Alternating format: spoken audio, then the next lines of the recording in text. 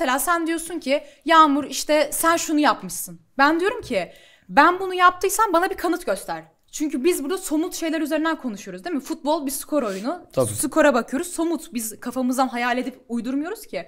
O yüzden kim açıklama yaparsa yapsın. Erden Tümür olur, o olur, bu olur. Herkes bir iddia ortaya koyuyorsa Bak koyuyorsa oraya kanıtla gelecek abi. Fenerbahçe hakkında öyle atıp tutmak kolay değil. Üçüncülü üçüncü abi yani koskoca Beşiktaş kulübünün artık hep biz bıktı yani değerli Beşiktaş taraftarı biz sıkıldık üçüncüyle oyna üçüncüyle oyna Beşiktaş kulübü üçüncü hani diyorlar ya Türkiye'de iki büyük yaratılmaya çalışıyordu. Bu duruma getirdiler biz ama bizi başaran yöneticiler yani hani kurulan kadro kurulan oyuncu tercihleri ama bu sene belki Beşiktaş için büyük bir milat olacak. Ee, taraftar olarak büyük tepki gösterdik. Ya onların santraforları ne kadar bize sıkıntı yarattıysa bizim santraforumuz o kadar onlara rahat bıraktı. Halil değil mi? Halil Dervişoğlu. Yani sırtı dönük oyun oynayamadı. Oyun, mesela Icardi'ye tamam laf attım az önce. Hani düşük performansı Evet. ama sonuçta Icardi oyuna katkısı e, oyun zekasıyla bile olan bir adam.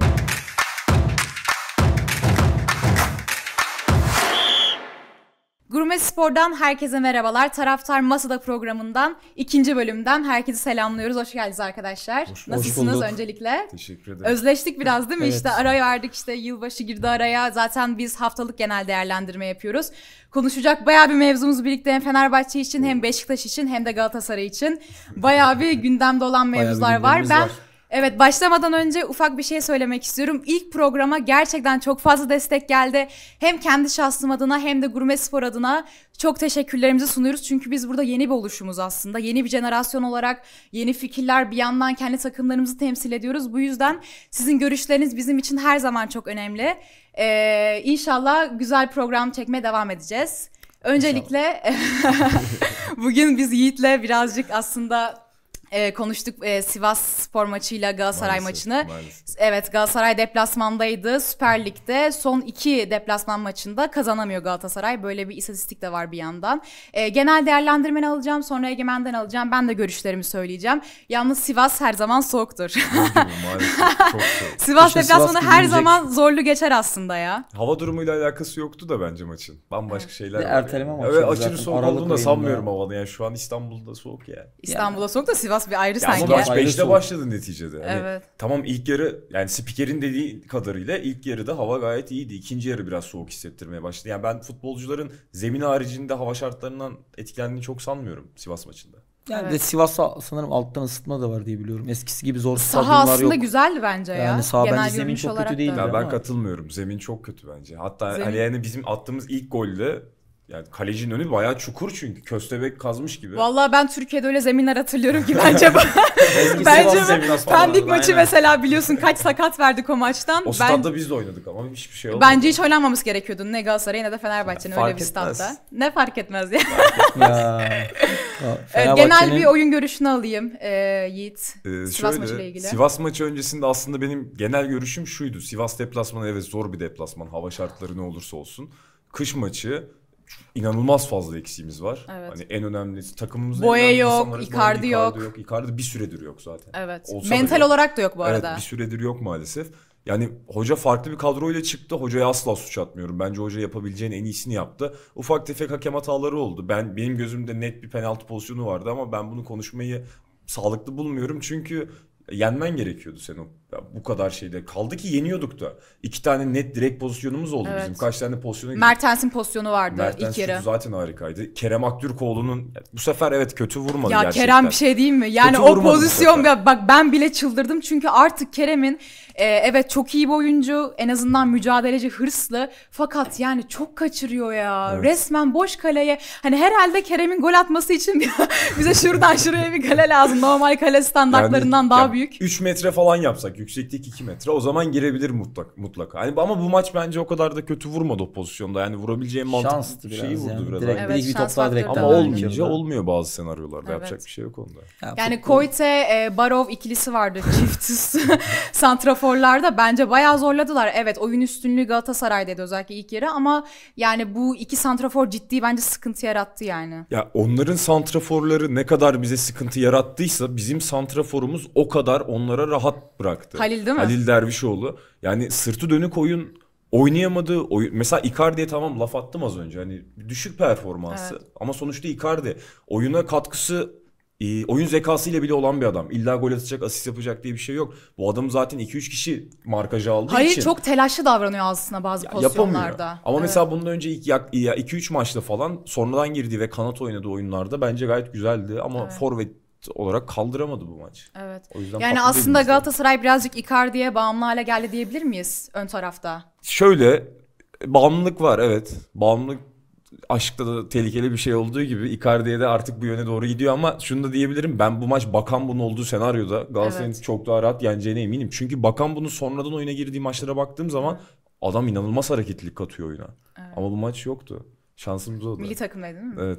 Afrika Kupası. Yapacak bir şey yok. Egemen sen ne düşünüyorsun? Afrika Kupası deyince zaten Beşiktaşların içine neler geçiyor söylemek Buralar yanıyor cayır cayır. Ya Afrika Kupası zaten yani biz Ekim ayından beri Afrika Kupası konuşuluyor. Artık ben ne zaman başlayacağını, kimin gittiğini bile ezberledim o kadar. Bu arada Asya Kupası da başlıyor Ocak ayında. O da bilginiz olsun. Ee, Galatasaray ya Galatasaray için zor bir deplasman. Zaten ligin en sıkıntılı deplasmanları. Yani bu işte Sivas olsun, Kayseri olsun bu kış dönemlerinde gidip işte zemin problemlidir. Ee, oyuncu oynayamaz. Anadolu takımları bu arada artık asla eskisi gibi değil. Yok Ne değiller. anlamda? Statlar da artık çok kaliteli yani. ne Ben- anlamda eskisi gibi değil. Yok futbol Yani anlamda da kötü ya değiller. futbol anlamında kötü değiller. En azından mücadeleci yani o taraflarını görebiliyoruz. Artık böyle çok çok rahat bir maç diyemiyoruz hiçbir Anadolu maçlarına. Fakat orada bir gülümsedin. Ya evet yani burada tabii ki de oyun üstünlüğü Galatasaray'daydı bu maçta ama genel anlamda diğer geçtiğimiz senelere baktığımızda bence hem e, transferler anlamında hem de hoca anlamında Anadolu takımları kendini geliştirdi diye düşünüyorum. Yani buralara yatırım oldu çünkü. Ya şöyle gülme sebebim benim kötü bir niyetle değildi aslında. Anadolu takımları şöyle Galatasaray ve Fenerbahçe'nin özellikle bu sezonda bu kadar makas farkını aştığı bir senaryoda ve bütçelerin dövizden dolayı bu kadar düşme sebebiyle Anadolu takımları bence iyi, iyi, iyi direniyor. Ama direnişlerde şöyle bir şey var Galatasaray'a ekstra direniş var. Yani bu holiganlık olur isteyen istediğinler ama ben gerçekten Konya maçında bunu fark ettim. Galatasaray Konya ve Fenerbahçe Konya maçlarında. O savunma düzenlerine falan baktığın zaman abi çok saçma geliyor bana artık. Yani sen diyorsun ki Fenerbahçe iyi oynuyor. Galatasaray'la karşılaştığında Anadolu takımları farklı bir biçimde oynuyorlar. Farklı Savunmaya daha ağırlık ver- verdiklerini düşünüyorum. Yani Galatasaray'ı tehditkar mı buluyorlar bu anlamda? Evet. Ya da işte Fenerbahçe açısından yorumlamak gerekiyor. Onu da sen yorumla. Ya bence gerçekten şöyle bir şey var. Hatay spor maçı mesela. Galatasaray Hatay'da yenildi Evet. geldi. Fenerbahçe maçı oldu. Fenerbahçe maçına bakıyorsun. Volkan Demirel çok da severiz sayarız artık deprem e, mevzularından sonra. Bir çıkıyor maça bambaşka bir taktik diziliş oluyor. Hiç oynamayan Yani futbolcular bir şey diyeceğim. oluyor. Burada şimdi ben müdahale edeceğim niye? Bunu söyleyen çok fazla taraftar var. Fakat yani e, Volkan Hoca zaten Hatay için yaptıkları fedakarlığı aynı şekilde duruşuyla bence sadece Fenerbahçeli diye veya Fenerbahçe efsanesi diye maçı sattı Hayır, diyemeyiz. Maçı sattı demiyorum. Ama sen Böyle şimdi bir diyorsun yakıştırma ki yapmıyorum. Böyle bir alt metni de yok söylediğim şeyin. ya Fenerbahçe'ye karşı ya da, ya da Fenerbahçe'nin oynadığı oyunla alakalı bir şey de olabilir ama hep farklı senaryolar izleniyor. Normalde klişe şudur. Büyük takımlar işte Ga- e, Galatasaray, Fenerbahçe, Beşiktaş'a karşı Anadolu takımları ne yapar? 11 kişi savunma yapar. Evet. Normalde hep hani otobüs çekme muhabbeti var ya. Belki de artık Anadolu takımları birazcık daha yani riskli oynamak istiyordur. Biraz bu açıdan bakalım. Galatasaray'a yani. karşı da oynasınlar o zaman bu riskli oyunu. Ya tamam ama Mesela bu bak bir bugün ist- hariç söylüyorum buna. Yanlış anlamayın. Sivas Spor çünkü gerçekten çok atak yaptı bize. Evet. Tehlikeli pozisyonlar yaratıldı bir yani. Evet. bir yani. Konya maçında da öyle oldu. Aynen Konya öyle. maçında ipi kopabilirdi yani. O gol olsaydı son dakikalarda.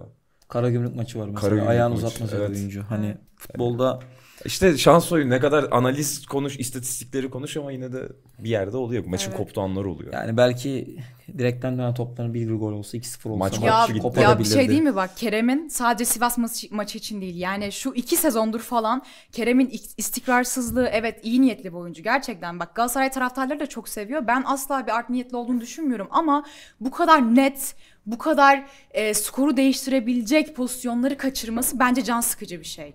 Yani çünkü kendini acaba konsantrasyon bozukluğu falan mı var yani? Ben hiç Kerem'de? sanmıyorum. Bence Kerem mentali çok güçlü bu olay olan bir oyuncu. Ya şöyle ama şöyle bir açıdan bak. Hani çok top kaçırıyor ya. Mesela bir maçta 10 tane şut kaçırdı kalede karşı karşıya. Ama şu açıdan bak 10 tane pozisyona girebilmiş Kerem. Diğer Ama topçular giremiyor. düşün. Zaha giremiyor. Zaha bugün Okey ama bak ben sana hak veriyorum ama sonucunda futbol bir skor oyunu arkadaşlar. E, yani ki. sen istediğin kadar sonuçta rakip ceza sahasında buluş istatistik olarak belki çok iyi gözükebilirsin rakamsal olarak ama sen skoru elde edemediğin zaman hele mevkinin gereğinden dolayı maalesef eleştiriye maruz kalıyorsun. Bu da bir Icardi bile gerçek. kalıyor yani. futbol böyle bir oyun ama şöyle bir şey var. Kerem e, bence çok çabalıyor. Çok. Evet. İyi niyetli. İstiyor ama bence şurada sıkıntı var. Şimdi milli takımda da Galler maçı vardı mesela. Ceza sahasının en dibinden direkt auto vuruyor. Yani burada bir sıkıntı var. Bayern Münih maçı mesela çok fazla elden kaçırdığı pozisyon var. Tutarsızlık mı aslında diyelim? Şöyle Tutarsızlık top var. şöyle gidiyor ya. Evet. Yani hani daha mesela mesela geçen sene Gal- Fenerbahçe attığı gol vardı mesela. Çok güzel bir goldü. Evet. Evet. Kerem'in mesela milli takım performansında da mesela Galler maçını izledik en son. Ben de çıldırdım. Hatta ilk yarıda kaçırdığı pozisyonu var. Direktman auto vuruyor. Bayern Evet. Münih maçı da öyle. Belki bugünkü maçta şanssız top direkten döndü. Hani gol olsa ya Galatasaray bence 2'yi bulsa maçı kazanırdı. Kesinlikle. Zaten Kesinlikle. penaltıyla beraberlik geldi. Yani Penaltı Ga- doğru bir karardı bence bu arada. penaltı doğruydu. Tertemiz. Hani eee, doğru bir karardı. Bir de Galatasaray'ın tartışılan bir penaltı pozisyonu var. İşte Şu- oyuncu eli uzatıyor düşmesi O birazcık falan. şaibeli bir pozisyon bence bu arada. Ya sadece yine tekrar şunu diyeceğim ilk programda dediğim Vara gibi. gidilmeli. En azından var Alper Ulusoy çağıramaz Şimdi mıydı? ben Bu neden olmuyor Bu pozisyonlara girmişken arkadaşlar Kerem'in dördüncü hakeme karşı yapmış olduğu bir itirazdan da ziyade artık Allah cezanı versin diyerekten sonrasında küfür ederekten bir isyanı var. Aynı şekilde Fred'i hatırlarsanız Fred ki Portekizce artık Zorbay Küçük Portekizce öğrenmiş galiba. İngilizce. Yani gel- Hayır, önce Portekizce söylüyor, sonra stupid lafını duyuyor ama benim bildiğim Portekizce söylüyor. Yani onun çevirisini yapıyorlar büyük ihtimalle. Zorbay Küçük İngilizceyi de bu sene öğrenmiş. Yani Bence orada hakaretleri mi öğrendi acaba Yani sadece? orada sen Hani Fred'e oyuncular şey hemen diye. rapor hazırlıyorsun, ceza veriyorsun. Bence Kerem Aktürkoğlu burada adaletli konuşmak lazım. Yiğit benimle aynı fikirde olur diye düşünüyorum bu konuda. Gereken işlemin uygulanması gerekiyor. Bir de sen çok saldırgan bir şekilde Fred orada arkasını dönüyor. Arkasını dönüp yürürken orada kendi lafını söylüyor ki argo bir kelime. Küfür bile değil. Orada Kerem'in yapmış olduğu küfür artı Allah cezanı versin diye direkt adamın üstüne doğru bir yürüme var yani. Orada bence kesinlikle gereken yapılmalı diye düşünüyorum. Argo varsa da zaten cezayı yemeli. Ben ne olacağını yani size 4 söyleyeyim maç yer PFDK'dan 2'ye düşürürler. O tarz Aynı bir şey fikirdeyim. çıkar. Aynen öyle. 4 maç yer. Ya şimdi Türkiye'de şöyle bir olay var. İlk önce bir gaza alıyorlar. Aynen. 4 maç. Sonra işte bir Fenerbahçe Galatasaray maç kazanır. Hemen iki maça yener. Böyle olacak. Ya şöyle yani. Hep öyle maalesef. Hani belki doğru belki yanlış ama Fred'in diğer- cezası düştü mü bu arada e, Kayseri maçından sonra? Düştü. Düştü. Değil mi? Tamam. Yani Olay orada evet olmuş. evet ben bu arada Kerem demişken diğer Kerem'e de gelmek istiyorum. Kerem Demirbay'a. Bence e, Galatasaray'ın yapı taşlarından biri. Yani lider özelliği olsun. Belki bu maç çok e, göze batmamış olabilir. Ben genel olarak Kere- Kerem'i çok beğeniyorum. Yani lider özellikle oyunu yönlendiren ve hücum ataklarını fark ettiysen hep Kerem başlatıyor kanat oyuncularına. Bu maç esasında mı bahsediyorsun? genel genel mı? yorumum. Evet ya Fenerbahçe maçıyla birlikte özellikle Evet. yükselişe geçti. E, Bu maç gerçekten gol atana kadar biraz sönük kaldı ama Evet. golü de attı. Açılışını yaptı ama o peşte penaltı pozisyonunda o yaptırdığı için kutlaması yarım kaldı adamın. Aynen Yapacak öyle. bir şey yok. Lider özelliği de şöyle. e, adam zaten şa- Alman kökenli biri olduğu için. Alman ekolü biraz o ciddiyet, o asabilik O var. var. Yani hemen Var. bakıyorum işte Kerem'e pozisyon al diyor, şöyle diyor, böyle Evet. diyor. O yüzden e, ben bu tarz oyuncuları seviyorum açıkçası. Rollen ya biraz rollenme de var. İçgüdüsel bir abilik de var Dayılık muhtemelen. da var. Dayılık da var. Şimdi demek istemiyorum. O, o triplerde hiç hoşlanmadığım için demiyorum da. İyi ya ben ama memnunum. iyi yani. anlamda söylüyorum. Ya Evet, sahada evet. belki kabadayılık da tutabiliyor bazen yani. Tutuyor ya. İşte Beşiktaş'ta bu sene eksik olan oydu mesela. şey Çok böyle iyi. çakı salladığı vardı. Tutuyor da bazen bunlar. Ya Bizde mesela eksik olan buydu. Bir tepki, bir kabadayı, bir Evet. sahaya bir liderlik yoktu Reaksiyon mesela. aslında. Reaksiyon Tamam, verebilecek reaksiyon oyuncu yok. Bizde hani bizde de yok. Kaç maçtır en ufak hakem hatasında bir şey oluyor. Penaltı bekleyen futbolcumuz yok. VAR'a gitmesi için hakeme baskı yapan futbolcumuz Valla yok. ben bas- Bugün yok. şöyle bir şey Bak düşün. bugünkü pozisyonda bile kimse bir şey yapmadı. Bundan önceki haftalarda yapmıyor. Herkes oyununa devam ediyor rahat rahat. Bu neden? Bizim futbolcularımızın problemi ne? Neyden korkuluyor? belki de birazcık rahatlardır. İşte bu Rahatlardır. rahatlık kötü bir şey anladın mı? Yani en azından hakemi VAR'a gitmeye baskılayabilirsin bu senaryoda. Yani yanında bir çerçeve oluşturursun. Ya geçtiğimiz senelerde birkaç kere gördük ama bu sezon ben nedense hiç göremiyorum bunu. Ya Galatasaray'da bence oyun anlamında şöyle bir şey de var. Hep set oyunu set oyunu herkes bahsediyor. Onu biraz açalım istiyorum ben. İşte e, takım rakip yarı alana yerleşir. Orada işte pas organizasyonlarıyla aslında rakibi hataya sevk eder. Değil mi? Yani set oyunun genel mentalitesi budur. Bunu Okan Buruk aslında benimsemişti geçen sene özellikle ama ben bu sene bundan birazcık daha kopuk bir Galatasaray görüyorum. Genelde işte ortalarla falan böyle kanatlardan çıkmaya Ortalarda çalışıyor. berbat bu arada. Evet gerçekten. Yani o kadar- bu maç kaç korner oldu ya? İlk yarı ya sürekli korner korner arkada. Evet. Oğlum keşke 8.5 üstte oynasaydım kornere falan diyor. Bir tanesi de isabetli Kuponlar orta kesemiyor ya. Bak Eyüp Aydın geçen hafta Konya maçında girdi. Tertemiz bir orta kesti. Aylardır hasret kaldığımız bir orta kesti gol attık anda. evet. O kadar çok duran top alıyorsun işte Yağmur'un dediği gibi hatadan bir şey bekliyorsun set oyununda. İşte hatadan ne olur? İşte rakibe çarpar kornere gider. Gerçekten çok fazla duran top kullanan bir takımız. Evet. Avrupa'da da öyle oldu. Ama Ama şöyle bir dezavantaj da var burada set Sonuç yok. oyununun. Genel anlamda tek Galatasaray için söylemiyorum. Şimdi bu oyunu yapmaya çalıştığında mesela şuradan örnek vereyim. Abdülkerim ve Nelson arkada çok boşluk bırakıyor. Çünkü hücuma katkıya gidiyor aslında oradan. Ama orada en, en ufak bir pas kaybı veya kontra atak bu oyunu tamamen tersine çevirebiliyor. Bu da o risklerden biri. Benim kendi analizim bu yani Evet. Galatasaray hakkında. Evet. Arkada gerçekten Abdülkerim çünkü hücuma katkı vermek isteyen bir stoper. Bu güzel bir özellik. Yani bunu her stoper yapmaz. Biliyorsun e, Konya maçındaki zaten golünü birçok forveti kıskandıracak bir gol attı. Konya maçında bu arada eksi oynuyordu. Yani ayağı isabetli pas oranı çok düşüktü. Go- Evet. İki golüyle yıldız oldu. Geri kalan da maçın öyle şey değil. Evet ya en azından bunu düşünmesi, risk alması bile güzel bir şey ama bence Galatasaray'ın defansif anlamda bu tarz eksikliklere göz gezdirmesi O gerekiyor. zaman o zaman şunu diyeyim sana riskli bir oyun oynuyoruz ya geri dönüşlerde Yok özellikle. ben şunu demeye Yo, çalıştım. haklısın. riskli bir oyun derken bunu Riskleri Okan var. Hoca riskleri var ama Evet. Okan Hoca bunu bence birkaç haftadır çok oturtamıyor. Senin çok sevdiğin bir bal ligi futbolcusu olduğu için bizim Torreira. takımımızda Torreira. Torreira'm varsa o Bal riski ligi. alabiliyorsun rahatlıkla. Evet, şimdi Mesela Torreira- Konya maçında yoktu ama o yüzden yapamadık bunu çok rahat şekilde. Torreira'm varsa rahatsın. Şimdi Torreira hakkında ben bir şey söylemek istiyorum arkadaşlar. Ee, bizim meşhur Yağmur Yüce hepimizin konusu. çıktığı Evet. e, oradan yükseldiğimiz aslında taraftarın sesi var. E, zaten bizi takip edenler biliyordur. E, orada bir arkadaşımız Konya maçı sonrası e, benim hakkımda ufak bir eleştiride eleştiri değil de aslında laf atmış. Kötü art niyetli olduğunu ben düşünmüyorum. Art niyeti değildi ben orada Art yanındaydım. niyetli onun. değildi. Zaten benim bu konuşmam çok gündem oldu. Ben bunu birazcık açıklık getirmek isteyip artık son kez konuşmak istiyorum. Ben orada işte Torreira'nın kariyerine, bu arada Torreira'yı ben 2021-2022 sezonuydu galiba Fiorentina'da takip ediyordum. Orada gayet iyi işler başardı ama arkadaş hani öyle bir anlatıyor ki hani böyle Premier Lig'de kendini kanıtlamış falan. Arsenal'da aslında performansı o kadar da göz açıcı değildi bence. Hocadan Se- dolayı ya. Serie A'da bence çok daha iyiydi Torreira. Ben bunu söyleyebilecek kadar da hakkaniyetli bir insanım. Benim orada yaptığım eleştiri Torreira'nın oyunculuk özelliğineydi. Yani ben yoksa Torreira'ya her zaman söylüyorum. Galatasaray için çok öne- önemli bir oyuncu. Yapı taşlarından biri. Çünkü oyunu senkronize ediyor. Bayağı. Defansif ve hücum anlamında da çok katkısı var. Evet. Bu ayrı bir şey. Ama Torreira özellikle derbide ya çok kendini yere attı. Evet lig başından beri bu yaptığı bir şey. Zaten Galatasaray'a gelen birçok oyuncu nedense böyle bir tavra giriyor. Anlamış değilim. Yani bu benim dikkatimi çekti bu açıkçası. Şuraya bağlayacağım. Ee, benim yapmış olduğum eleştiri daha doğrusu espri yani orada anlayabilenler anlayabilenler anladı zaten. Orada gülüp geçen benim arkadaşlarım da var Galatasaraylı. Oraya biraz fazla takıldı insanlar. Ben orada bir benzetme yaptım aslında. Bir şaka yaptım. Yoksa Torreira'nın bal ligi topçusu olmadığını ben de biliyorum. Ben İtalya'da takip ettim Torreira'yı. Ee, onun dışında zaten bal ligi topçusu olan bir e, sporcu, bir futbolcu da zaten Galatasaray gibi kulüpte oynayamaz. Bu da ayrı bir konu. Öyle düşünüyorum. Bu biraz gereksiz gündem oldu. Bu konuyu burada kapatalım o zaman Evet, bu konuyu burada Yağmur'da kapatıyoruz. Taraftarı Ya Yağmur'da şunu bir de söylemek istiyorum. Şunu söylemek istiyorum. İnsanlar bizim insanımız maalesef e, tanımadan, bilmeden sadece 30 saniyelik bir Reels videosundan insanları eleştirmeye ha- yani hakarete kadar giden birçok ben yorum aldım, mesaj aldım. Arkadaşlar birazcık e, hakkaniyetli olun. Yani bir insanı 30 saniyelik videodan tanıyamazsınız. Onun bir hikayesi var.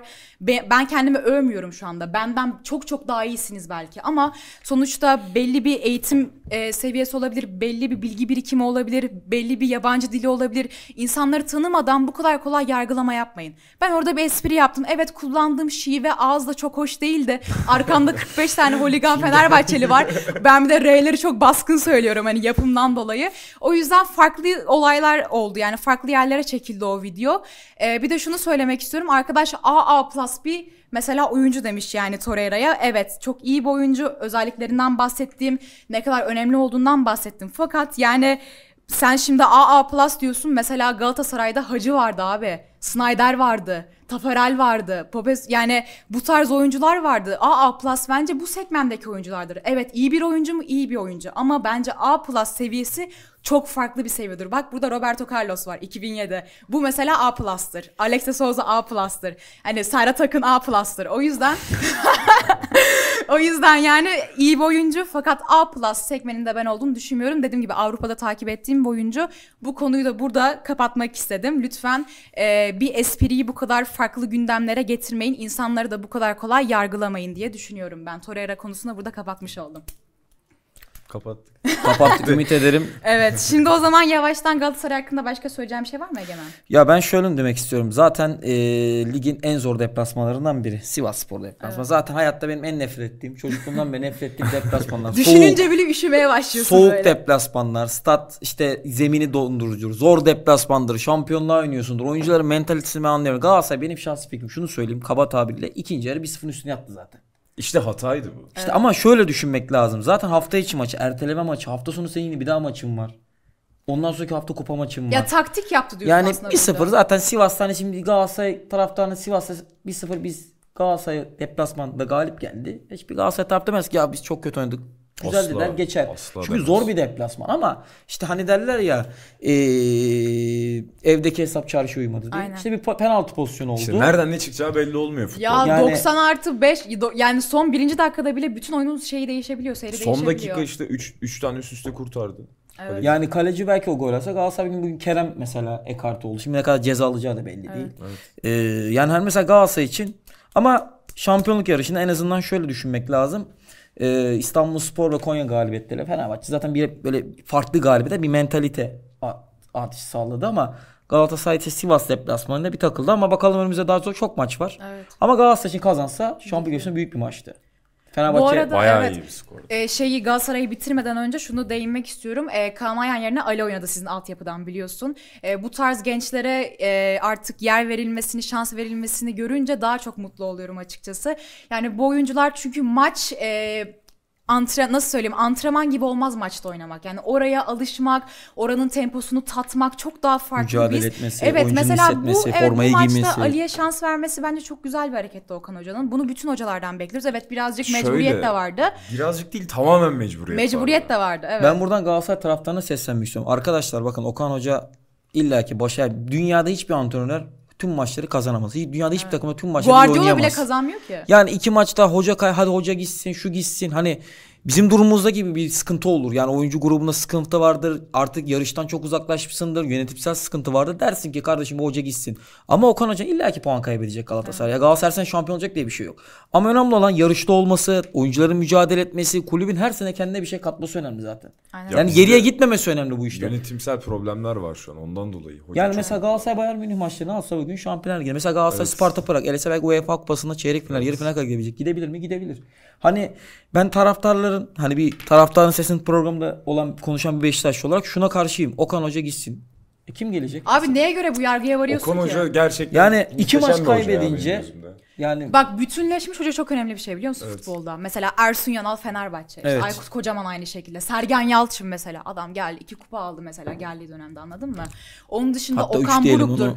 Önder Karaveli aldı ama hani onun şeyi sahili oldu. Önder Aynen öyle. Yani bence gerçekten e, bütünleşmiş hocalar futbolda özellikle Türkiye'de çok fark yaratıyor. Okan Hoca'nın Galatasaray kontenjanı olduğunu unutmayalım bu arada. Bence de yani Bunda bir kötü etkisi işler var yapmadı. kesinlikle. Beşiktaş'a bağlıyorlar onda da bizim ta ya ben- bizim taraftara benim eleştirim ya burada. Taraftar bir anda Okan istifa, Okan istifa çekmeye başlıyor. Ya Okan Hoca sana hayatın boyunca belki göremeyeceğim bir puan ortalaması yakalattı, onu yaptı, bunu yaptı. Evet. Adam gerçekten iyi bir adam. Ama bizde şöyle bir sıkıntı var. Bizde şimdi seçim dönemi yaklaşıyor.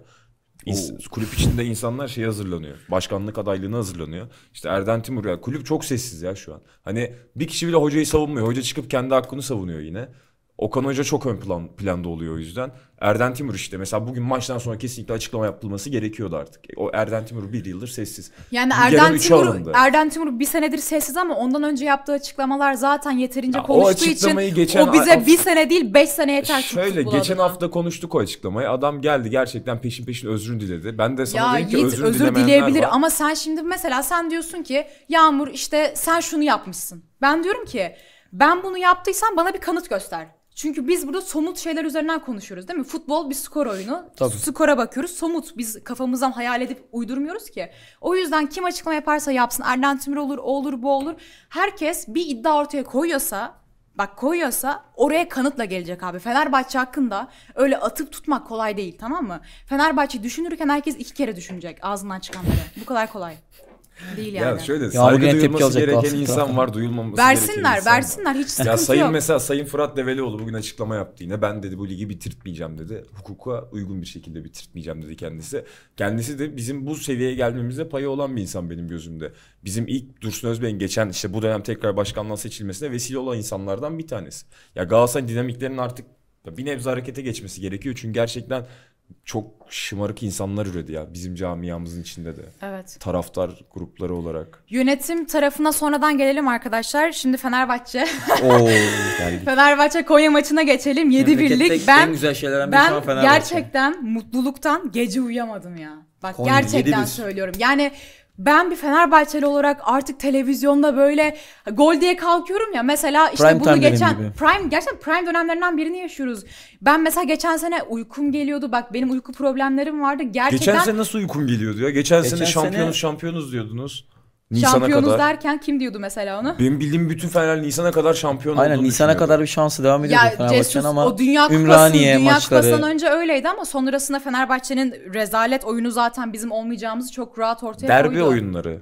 Daha derbi çok oyunları derbi bitirdi oyunları. evet. Beşiktaş Ama bir şey diyeceğim. Geçen seneki Fenerbahçe oyunuyla ben saha içinden bahsediyorum şu anda. Oyun seyir zevkinden bahsediyorum. Bu senekiyle geçen sezon, sezon arasında d- devler kadar fark var ya. Ciddi bir devler fark. kadar yalan fark yok var. gerçekten. Yani ruh Ben şeye çok güldüm. motivasyon anlamında ben artık izlerken şeyi bekliyorum. Hani gol attık ya tamam herhalde bir 5-10 dakika sonra tekrar bir pozisyona gireceğiz ve gol olacak. Çünkü oyuncular o güveni ve o samimiyeti veriyor. Herkes ben bunu ilk taraftarı sesinde e, demecinde de söylemiştim. Çok destek geldi bana benle aynı şekilde düşünen. Fenerbahçe forması giyen her oyuncu yerli yabancı o formanın hakkını bak bu forma var ya bu formayı taşımak kolay değil yani. Herkesin de nasibi olmaz. Bu yüzden herkes ona göre oynayacak. Allah şükür ki bütün oyuncularımızdan çok memnunum. Cengiz mevzusu vardı. Ona geleceğiz zaten. Görüşlerinizi alacağım o konu hakkında. İşte İrfan Cengiz forma mücadelesi hakkında.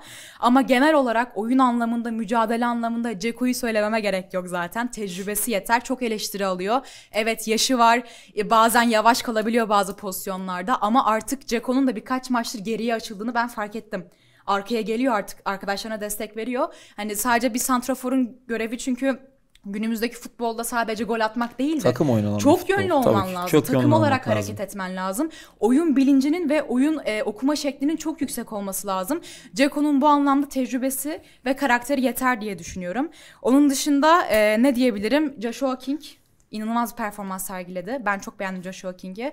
E, direkt Yiğit'in yorumdan başlayalım o zaman. Ya şöyle ben Fenerbahçe hakkında sadece şunu Penaltı derim. yorumu vardır büyük Yok, pena, yok yok hayır hayır. sadece şey derim ya ben 2016 oyunu Şenol Güneş'in oyunu vardı. Çok seviyordum ben oyunu. Evet. Gerçekten keyif Evet. alıyordum futboldan. Geçen sene Galatasaray'ın oyunundan çok keyif alıyordum. Bu seneki Fenerbahçe'de işte sezon yine bu şekilde oynamaya devam ederse, düşüşe geçmezse gerçekten keyif- Şampiyon. Ya O çok zor bir ihtimal Niye Fenerbahçe zor? için.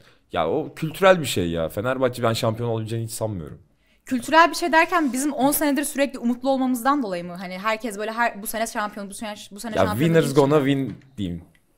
Biz winner'ız ya. O, o var kazanç takımıyız. yani. So- Ben bugün geldim buraya. Şey diyor ki Emre, Emrecan. Ya diyor sen niye üzgün değilsin falan Sivas. Ya dedim ne üzgün olacağım ben dedim. Senaryo belli her sene. O zaman aynı. ben de bir şey söyleyeyim. İngilizce olacak ama winners can change but legendaries stay always. Hayır ya. Efsaneler her zaman kalır ama kazananlar her zaman değişebilir. Çünkü bu bir oyun. Kazanmak Öyle. da var, Saygı kaybetmek de duyuyoruz var. canım saygı duyuyoruz. Ya Biz her zaman saygılıyız biz. Ama sadece işte şey, o keyif alıyorum ya futboldan. Futbol keyiflilik. Mesela biz ben bugün şunu severdim. 1-0 Sivas'ı yenelim, berbat bir oyun oynayalım. O zaman ben gerçekten mutlu olurdum. Sivas'a 5 atacağımız bir senaryoyla kıyasladığın zaman. 1-0 yenmek çünkü böyle Çünkü rakip takım... potansiyelini biliyorsun. Evet bir de rakip takım taraftarın böyle daha çok kudurtuyorsun 1-0'la yendiğin zaman. Hani senin kötü oynayıp Okan Hoca Kudurtmacı. ya ama Ya Okan Hoca şöyle böyle diyorlar işte 1-0'la anca yeniyor falan. Biz işte 7 tane atıyoruz ondan 6 tane yiyoruz falan filan. Evet. Ama bence daha keyifli oluyor. Biz işin eğlencesindeyiz yani. Ben benim eşimi dostum kudurtmayı seviyorum yani. Son gülen iyi gülenmiş. Bakalım ne olacak? Aynen öyle. Yarışta aynen ne olacak? Öyle. Egemen göreceğiz. sen ne düşünüyorsun? Ya Konyaspor, Fenerbahçe Konya Spor maçını izledim. Maçla ilgili şöyle. eee, ben Livakovic'in yediği gole çok güldüm. Gol yiyor. Elini ayak kapatıyor yani. 7-1 olmuş zaten ama bayıldım ama ya. Ya bir şey Gerçekten çok ama hoşuma bir şey gitti. Livakovic'e de hak ver yani. Adama hiç pozisyon gelmediği için adam arkada kola çekirdek ne yapsın birden öyle bir pozisyon oluyor.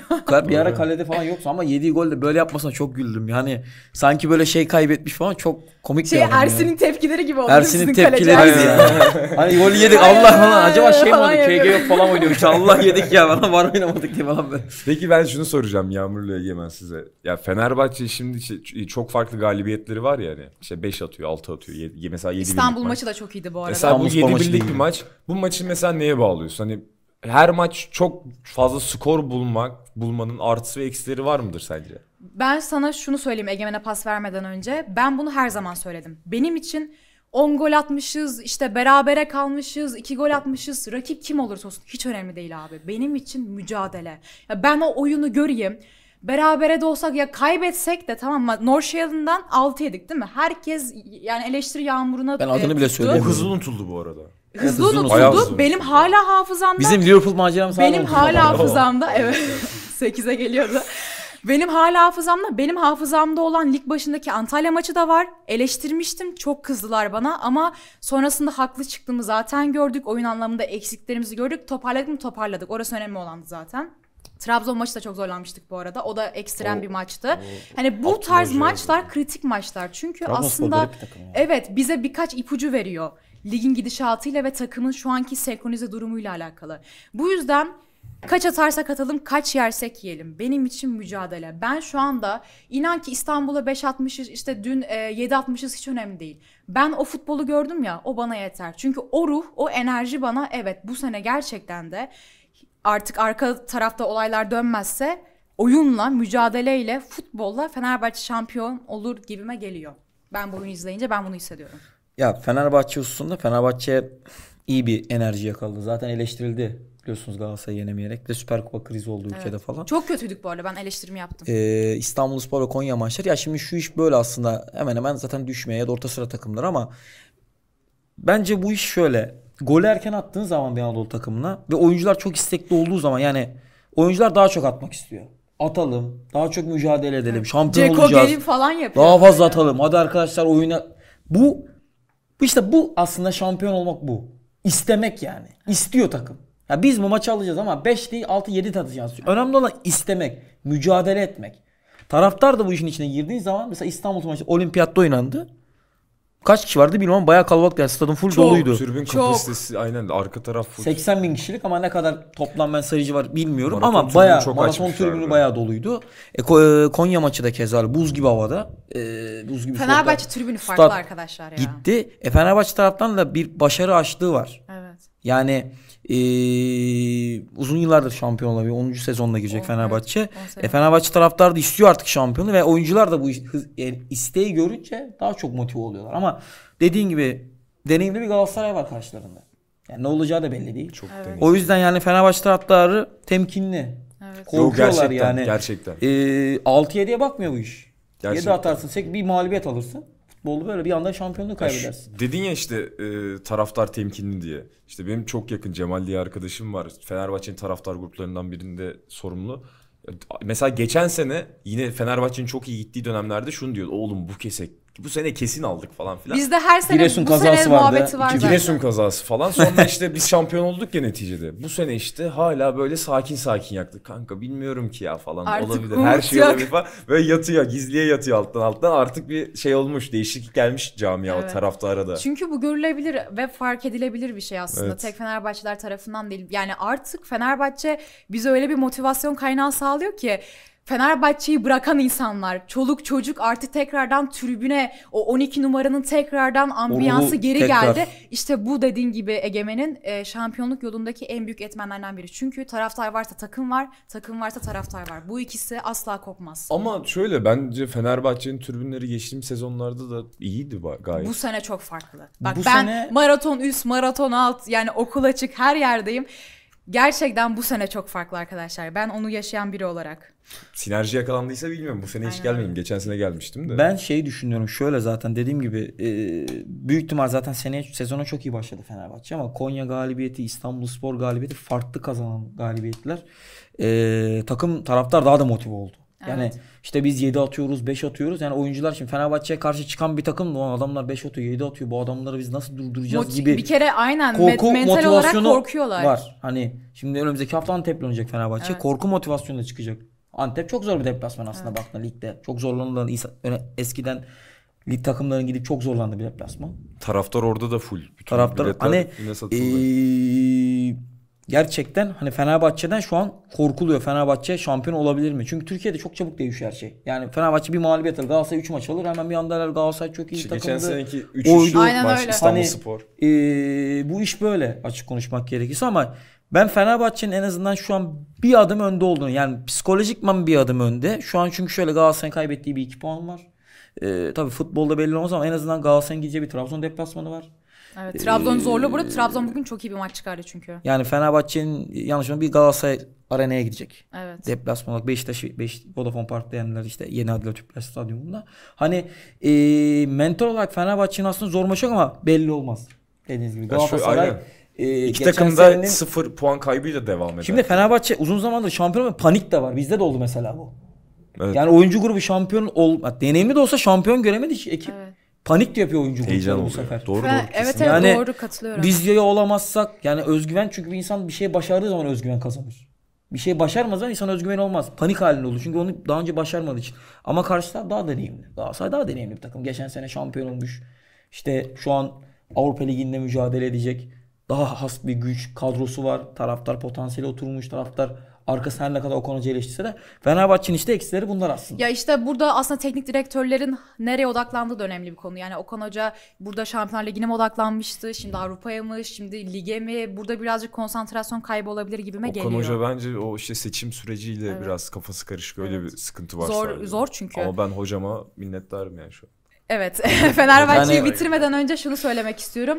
Ee, Deniz var kaleci genç. Evet. Ya sizin maçta Evet. o Zaha'nın poz, Kerem'in Evet. pozisyonu Konya yani Galatasaray kaleci 2005 yetiştirme doğumlu. kampı arkadaşlar. Çocuk 18 yaşında. Gerçekten helal Gerçekten olsun. çok iyi mücadele etti. Biz olsun. izliyorsa O gerçekten- kaleyi ya kalede böyle bir mesela Volkan Demirel'de vardı bu. Bir duruş var. Anladın mı? Yani o kaleyi böyle ben buradayım Ya ben diyor, buradayım. anladın Ben mı? kaleciyim. Evet. Yani İlker Doğru, doğru. Casillas söyledi ilk genç zamanında Aa. ama kaleciydi yani ben buradayım. Evet. Türk futboluna yeni bir kaleci kaleci daha yani. kazandırdık Evet, ya Türk, arkadaşlar. Ya gerçekten o kadar mutlu oluyorum ki işte olarak. Semih gibi oyuncular, işte Deniz gibi oyuncular, işte Semih? Arda'yı söyle Semih Kılıçsoy. Beşiktaş. Beşiktaş. Oraya Beşiktaş Güzel gol attı bu arada. Güzel gol attı. Oraya geleceğiz zaten. Bu tarz gençlerin e, böyle Daha çok aşamalardan geçip ilerleyeceğini Milli düşünüyorum. takıma da en azından. Fener adına da şunu söyleyip bitireceğim zaten. E, Cengiz inanılmaz bir performans sergilemeye başladı. Cengiz'i ben mali açıdan kulüp e, maliyet açısından çok eleştirdim. Evet eleştirmedim değil ki Marsilya? Marsilya döneminde ben gayet beğeniyordum Cengiz'i. Sakatlıklar sıkıntı. Çok sıkıntı ama önemli olan bence oradan toparlanabilmesiydi. Yani bunu her sporcu yapamıyor çünkü biliyor musun? Çünkü çok iyi bir Fenerbahçe kadrosu var. Birkaç sezondur belki de Fenerbahçe tarihinin belki de en iyi kadrolarından biri var. E Cengiz orada, İrfan var. İrfan kariyer sezonunu geçiriyor bir yandan. İnanılmaz bir performans sergiliyor. Yani takıma olan katkısı, kendi özgüveni, kendi kariyeri açısından olan ki performansı. O yüzden orada Cengiz acaba İrfan'la rekabete girer mi, giremez mi böyle bir soru işareti vardı. Cengiz bunu kırmış oldu. O zinciri bir yandan kırmış oldu ki bence e, çok farklı bir senaryoya dönüşecek diye Sizin düşünüyorum. açınızdan pozitif bir etki yaratır. Ama oraya. şimdi Ya bir rekabet şey var. ortamı daha iyi. Ya yapıcı rekabet ortamı çok önemli ama şimdi İrfan orada çok iyi performans sergiliyor. Dediğim gibi kariyer sezonunu geçiriyor. Şimdi İrfan geçen sene 8'de oynadı. Orta sahadaydı. Mesela İrfan'ı nereye monte edecek? Şimdi İrfan çünkü takımı taşıdı bir yandan da hücumsal anlamda çok iyi işler yaptı. E, bu saatten sonra Cengiz de artık ben buradayım dedi. O zinciri kırdı. Sakatlığı unuttum. Ben Fenerbahçe'deyim. Geldiğim camianın farkındayım. Sorumluluk alıyorum dedi. E, orada nasıl bir forma adaleti olacak mesela? Bunu İsmail Hoca çözebilirse helal olsun diyeceğim. Çünkü bunu çözmek bence çok zor ve oyuncularını kaybetmemesi gerekiyor. İki Evet. tarafta küsmemesi gerekiyor. Gerçekten iki oyuncu da şampiyon olmak istiyorsa bu bilince sahiplerse ona göre davranırlar zaten. Yani biri bench'e oturduğu zaman sıkıntı çıkar. O işte hocanın iletişim becerisine kalıyor. Evet. Hocalığın %80'i İletişim iletişimdir. zaten yüzde sekseni. Klasik bir laf vardır Evet. futbolda. Bu yüzden e, bence kritik noktalardan biri Fenerbahçe'nin dikkat etmesi gereken diye düşünüyorum. Şimdi Beşiktaş'a geçelim. Kara Kartal. zaten var ya Egemen. Yani biz bayağıdır işte çekimden önce oturduk falan sohbet ettik. Beşiktaş bölümü gelsin, Beşiktaş bölümü gelsin falan yapıyor böyle bir O an kadar önce konu konu- başlığı var ki. O kadar Hangisi gerçekten Ya ben bizim ne Beşiktaş'a söyleyeceğimi ayrı bir bölüm şaşırdım. çekmemiz lazım bence. Hani Beşiktaş'a yani sadece bir, bir bölüm Beşiktaş çekmemiz lazım. Şimdi Kesinlikle. Beşiktaş'ı nasıl özetleyelim hani Ee, Rize önce e, Rize Spor Beşiktaş maçı özelinde konuşalım. Sonra genel bir yorumları alacağım zaten. Şimdi Rize Spor Beşiktaş maçında e, futbol nezdinde şöyle Beşiktaş'ın gol erken bulması Rasica'yla belki Rize, evet. Rize'de e, VAR'dan dönen gol de önemli oldu. Yani Rize Spor zaten Biraz da bizi küçümsedi büyük ihtimal. Ya ben öyle düşünüyorum. Şey düşündüler. Biz Beşiktaş zaten yeneriz. Hani Beşiktaş zaten kötü. Ee, yeni hoca gelmesiyle beraber oyuncular da aşırı bir motivasyonla. Santos, büyük hoca. Santos gerçekten. Hani ya zaten taraftar e, mental olarak tam böyle artık yeni yönetime de böyle ya hani nerede bu hoca oyuncu nerede takım iyileşmiyor derken Santos geldi. Aa dedi büyük hoca Portekiz'de Ronaldo'nun hocası bir anda derken bir anda Rize galibiyeti geldi ve taraftar en azından Beşiktaş taraftan bir nebze olsa yüzü gülüyor. E, maç özelinde şöyle zaten açık konuşmak gerekirse iyi mücadele etti Beşiktaş. Bir şey Oyuncular diyeyim iyi mücadele etti bu sefer yani. Beşiktaş'ın belki de e, mücadele ettiği böyle hatırımda kalan bir iki maçtan Ben biri Nefçi oldu. Bakü deplasmanda Nefçi Bakü bir de bu Rize maçını. Yani diğer Rize maçlarda maçı. da kötü değildik ama burada gerçekten Kasımpaşa böyle maçı mesela. Yok Kasımpaşa maçında Kötü. yani ben ya şuradan da Bir tık geri gelip sana şeyi sormak istiyorum. Şimdi hoca geldi ya. Türk işte, yabancı hoca hakkında şeyin ne? Hani na- ne olur? Yabancı hoca ya ben sonuçta, hani burada demiştim. Guardiola bile bu ekip yer diye ama şu an e, hocanın videolarını falan izledim. Hani Gesson'a bakıp böyle gaza tokat atıyor mi? falan böyle. Hani zaten böyle yani ben kork ben görsem korkarım. Mafya falan zannederim hocayı. Yani hoca aşırı yani öyle hocayı grup kolay kolay yiyemez ama e, taraftar olarak çok sabırlı olmamız lazım. Yani Beşiktaş'ın bu sene bitti. Bir kupa maçımız var. Bir kupamız kaldı işte. Alabilsek kupayı alacağız. Zaten çok özür dilerim Santos'la yani lafına katkı olsun diye söylüyorum. Santos'la galiba yarım sezonluk anlaşıldı diye Yok biliyorum. 2025'in sonuna kadar 2025 anlaşıldı. tamam. Yani Hasan Arat eğer Hatırlatmak amacıyla kalırsa söyledi. 2025'in sonuna kadar. Şimdi Beşiktaş'ın hani ufak bir genel değerlendirmeye geçersek Elim Sokağı Kabus diye bir film var. Duydunuz mu bilmiyorum. 7-8 senelik bir film. 7-8 tane filmleri var. Şimdi şöyle hani bu sene Beşiktaş'ın işte hocalar, oyuncu grubu ve benzeri. Filmde işte karakter ölüyor. Her şey iyi gidiyor. Karakter bir daha canlanıyor. Beşiktaş maçları böyle. Beşiktaş Hatay'ı yeniyor. Kasımpaşa'yı yeniliyor. Rize'yi yeniyor. Şimdi Karagümrük'ü yenip yenmeyeceği bir şey belli değil. Hani yenilir miyiz? Yine ben de emin olamıyorum. Hani eee Beşiktaş'ın önce bunu bir düzeltmesi lazım. Yani iç sahada oyuncular artık korkuyor mu? Şimdi iç sahada 3 maçın 3'ünde de 3-1 mağlup olduk. Fenerbahçe, Alanya, Kasımpaşa hani Vodafone Park, Tüpraş Park yani Tüpraş Stadyumu eskiden yani gol atan takım yoktu. Bana Gol gelirken dedin ki arabada. Acaba dedim bizim topçular dedin maç mı satıyor? Ben bir an düşündüm. Neden düşündün bunu? Ben o ihtimalin çok yüksek olduğunu düşünmüyorum ya. Ya maç satıyor değil de şöyle değil düşünüyorlardır. şey Ee, şöyle bir düşünce yapısı olabilir. Ya arkadaşlar taraf o zaten iddiamız yok. Taraftar tepkili. Herkes kendini göstermeye çalışsın. Çünkü bir takım oyunu bu. Yani çünkü ben maçları izliyorum. Kasımpaşa, Alanya hep yani yan pas, yan pas, yan pas. E, kapalı takım böyle açamazsın. Şut çekmiyorsun. Risk alman lazım kapalı Risk defans almıyorsun. açman için. Yan pas, yan pas. E zaten mental olarak oyundan düşün. İşte takım bir atak yapıyor, gol yiyorsun. Beşiktaş sonra ardından bir tane daha gol yiyor. Hani e, bir de şöyle Yağmur bahsetti ya mücadele diye bir olay yoktu Beşiktaş'ta. Hani e, mücadele olay yoktu. Sürekli Beşiktaş e, bahanelere sığınan oyuncu grubundan tepki alan bir hal aldı. Buna bir şey değil mi? Çok güzel bir şey söyleyeceğim sana. Bence %100 katılacaksın bana.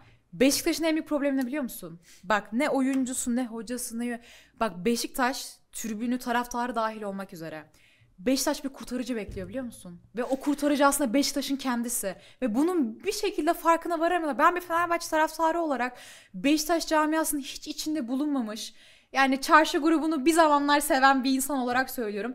Beşiktaş bir kurtarıcı beklemesin. Beşiktaş'ın kendisi kurtarıcı olmalı zaten. Ya Oyuncu ya Sergen Yalçın çok böyle süper işte arkadaşın dediği gibi AA plus oyuncularla mı şampiyon oldu? Gezal'ı Gezal yaptı. Rozier'i Rozier yaptı. Evet şu anki kadro çok kötü. Hani girmek istemiyorum ama sonuçta buradan toparlanacak olan da Beşiktaş'ın kendisi. Hani öyle yukarıdan bir elçi falan beklemeyin yani. ya Beşiktaş'ta sıkıntı aslında şu. Her gelen bahanelere çok sığınıyor. İşte aynen Yani şimdi ben burada. Beşiktaş kulübünün antrenörüyüm. Yani ben takımı kurmadım. Ben şunu yapmadım. Ben buradan Serdar Hoca'ya da teşekkür ediyorum. Hani 3 maç oynadı.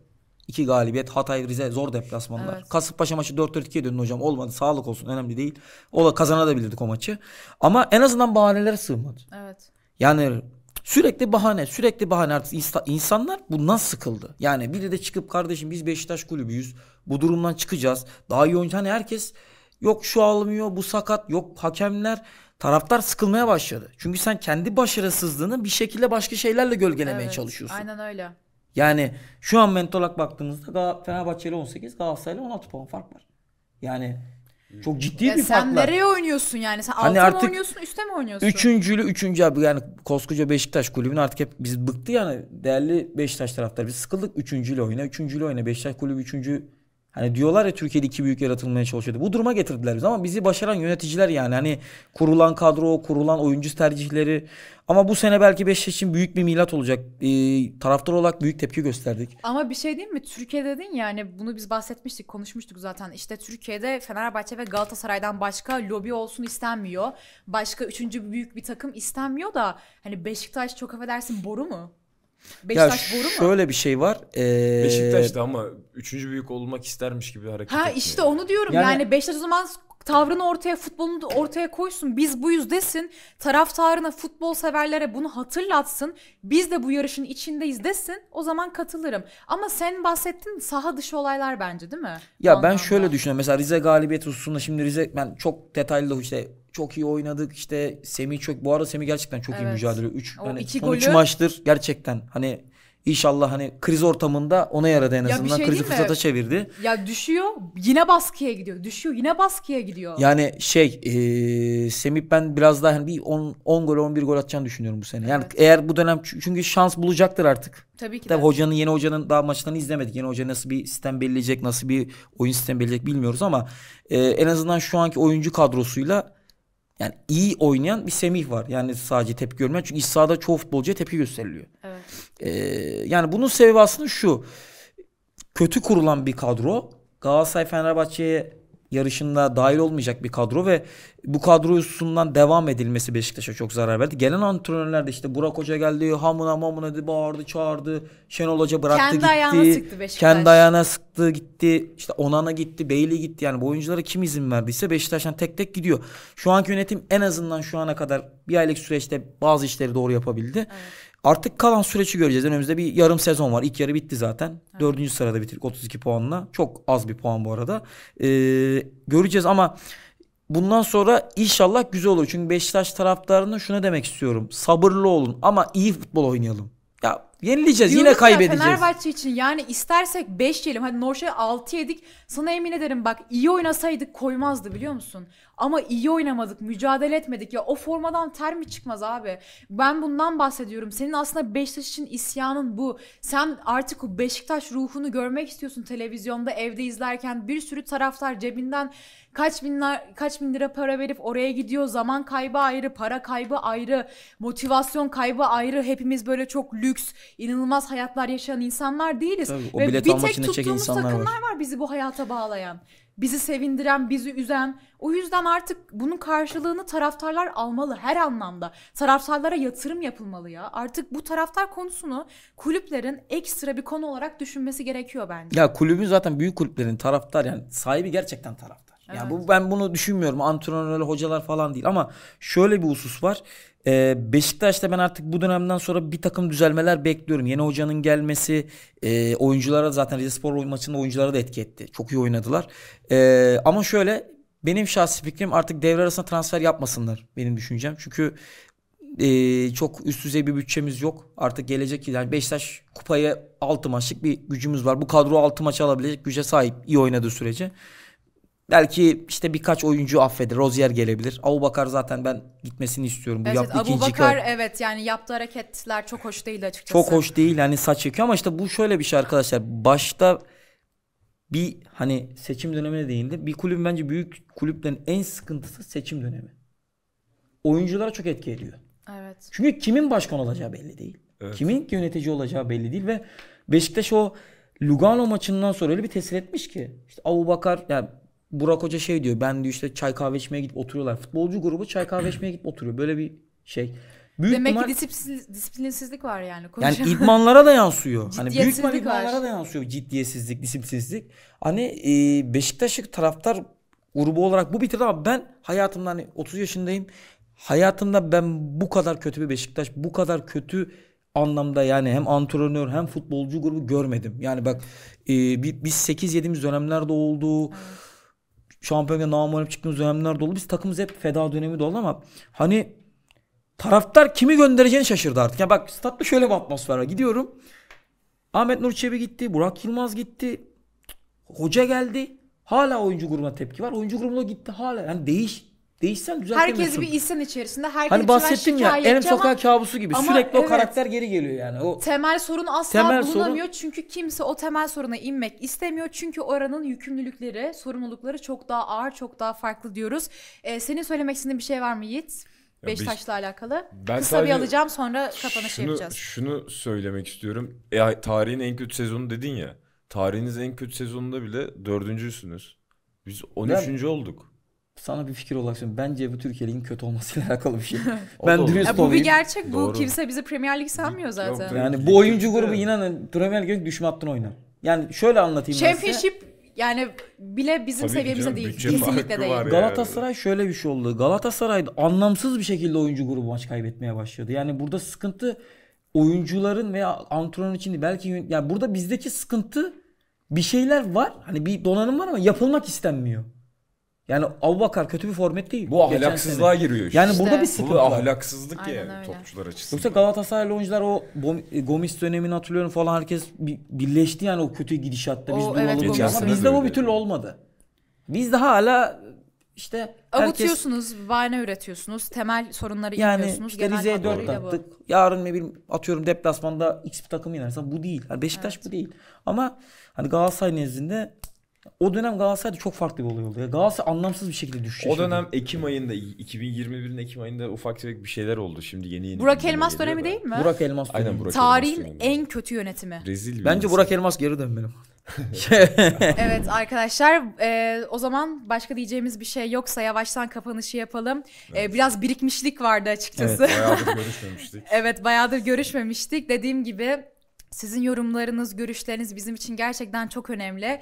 E, çünkü insan motive oluyor biliyor musun? Yani ben Fenerbahçeliler tarafından Fenerbahçeli olmayan insanlar da bana çok yazıyor. Benim Evet. yorumlarımı izleyen, beğenen illa Yiğit'e de yazıyordur, Egemen'e de yazıyordur. Bu anlamda e, sizin takviyelerinizi görmek, desteklerinizi görmek bizi çok mutlu ediyor. O yüzden bu videoda like atmayı ve yorumlarınızı dile getirmeyi unutmayın. Fenerbahçelileri aşağı bekliyorum. Fenerbahçeli olmayan ama futbol severleri, objektif futbol severleri de aşağı bekliyorum. Size bir like isterseniz arkadaşlar Ya objektif olup olmamanız çok şey değil. Ee, objektif olmasanız da yorumları bekliyorum. Holigan Galatasaraylılar olur şey olur. Çünkü yalnız kalmışım ben yorumlarda. Roberto Carlos. Fenerbahçeli taraftarları ağırlıklı geliyor.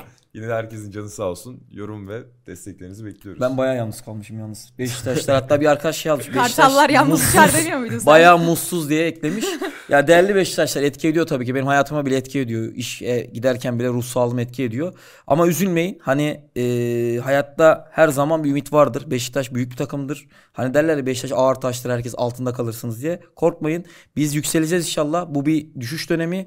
E, ümitsizliğe kapılmayın. Sizlerden like'lar bekliyoruz bol bol. Ümit ederim burada Beşiktaş'ın galibiyetleriyle daha güzel şekilde, daha güzel güleş şekilde sada karşıda çıkmayı Arka- ağladığımız senin güldüğün yayınlar Arkadaşlar falan. Evet. bunu da söylemek istiyorum. Her şey için geçerli. Bizim için de geçerli, hayat için de geçerli. Dibi görmeden zirveye çıkmanın da hiçbir anlamı yok diye düşünüyorum. Şey derler top yere düşmeden sekmez diye. Aynen öyle. Beşiktaş için de bu durum geçerli bence. Teşekkür ediyoruz. Ee, bizi izlemeye devam edin. Hoşçakalın. Kendinize iyi bakın. Kendinize iyi bakın arkadaşlar.